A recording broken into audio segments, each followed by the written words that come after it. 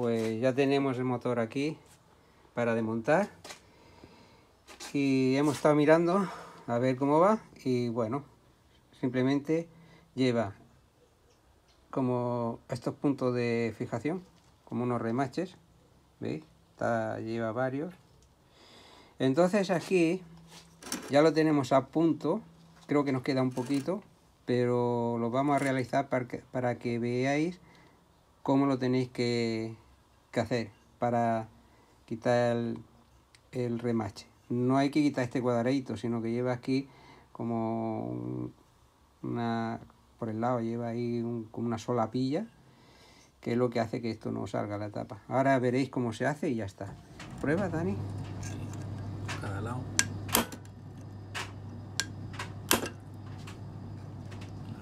¿Veis? Aquí hay uno que todavía está eso como fijación. Pues esto es lo que tenéis que hacer con cada una de estas piececitas, de estos puntos de fijación.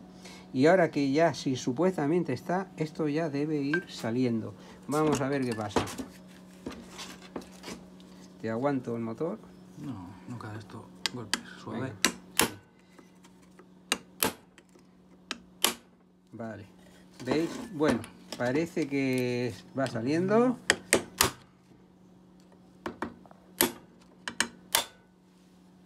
Vale, ya lo tenemos a punto.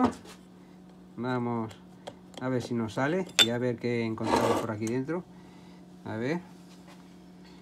Aquí lo que lleva es un casquillo. Lleva un mecanizado. Ah, un mecanizado. Parece que está agrandado, ¿verdad? Hay que comprobarlo. Lo comprobamos con el pie de rey, porque yo creo que va a ser eso.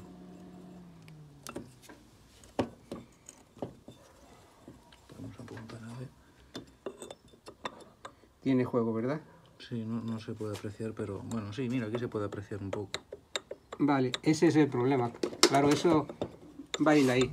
Y además, tenemos esto que nos lo va a decir más claro todavía. A ver.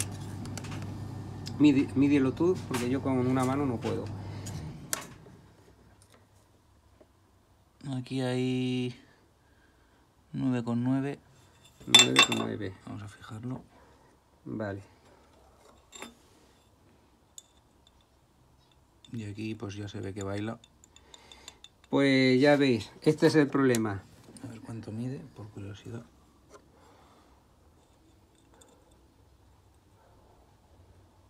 Aquí más de un milímetro. Más de un milímetro de desgaste. De hecho aquí hay 11. Hay bien, bien 11. 10,8 hay casi 2 milímetros. Pues vaya. Bueno, yo antes de desmontarlo, como que no lo sabía, dije que esto llevaría un cojinete en cada extremo, uno abajo y otro aquí arriba. Pues me he equivocado. Aquí, en la parte esta trasera, lo que lleva es un casquillo, como estáis viendo. Y delante lleva un cojinete, pero claro, el problema ya lo tenemos aquí. El casquillo este tiene que ir justo. Y esto está, esto baila y claro, produce ese, ese ruido. No obstante, ahora después acabaremos de sacar esto. Antes de sacarlo es importante medir esto. Para que la pieza que va aquí no quede ni demasiado presionada ni muy suelta. Bueno, pues nada, tenemos que solucionar ahora el problema este. Y a ver ahora dónde podemos localizar un casquillo de estos. Y ya está. Pues de ahí venía el ruido. Esto, esta pieza no trabajaba firme en su sitio, su posición y claro, va... Esto seguramente el rotor va rozándose en, en el estator del motor. Porque claro, como esto aquí no está fijo, pues ese, de ahí viene ese ruido. Pues nada, lo dejamos por aquí y luego ya cuando encontremos solución al tema, pues lo expondremos.